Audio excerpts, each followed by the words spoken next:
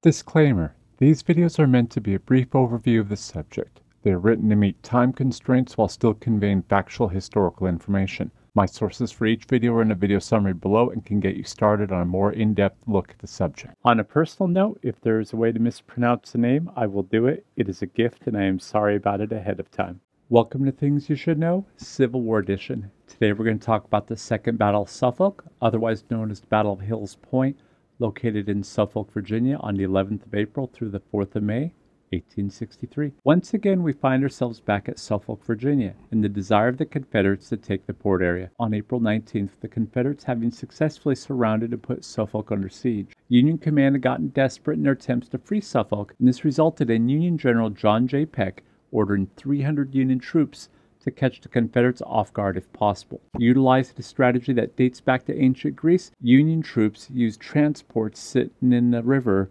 as a Trojan horse to get close to the Confederates. At 6 p.m. on April 19th, Union troops consisting of the 8th Connecticut and 89th New York exited the transport ships near the Confederate defenses at Hills Point on the Nansemond River. Confederate Captain Robert M. Stribling and his Fauquier artillery were caught completely off guard and were taken prisoner within 15 minutes. The Union had secured five heavy artillery pieces that were guarding the river and 130 Confederate prisoners. This opened the river back up to Union transports, providing some relief to the Union and allowing supplies to begin flowing into Suffolk again. In a concerted effort, U.S. Brigadier General Michael Corcoran followed this up on April 24th with an attack on Confederate General George E. Pickett's right flank. Unfortunately for the Union, Corcoran and his men were pushed back with ease by the Confederate defenders. Confederate command had become worried about the Union's movement and Union General Grant's feints recently, and on April 30th, Confederate General Lee contacted Longstreet in Richmond and had him move the Confederate First Corps from its siege of Suffolk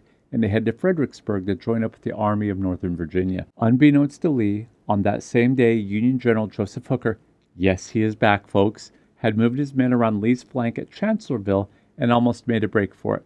Hooker was ultimately unsuccessful, but it forced Lee to move his troops in to fight him. Later that week, on May 3rd, Longstreet had finally moved his supply trains across the Blackwater River and lifted the siege of Suffolk. While siege itself may not have been successful, Longstreet was successful in preventing a Union attack on Richmond. Total casualties for the siege were 260 Union killed, wounded, or missing, while 1,160 Confederates were killed, wounded, or missing, and this included 130 Confederates captured at Hills Point. Join us again next time on Things You Should Know, Civil War Edition.